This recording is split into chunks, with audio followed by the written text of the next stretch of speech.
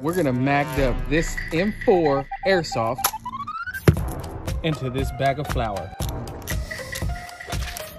Are you ready? Yeah. Go.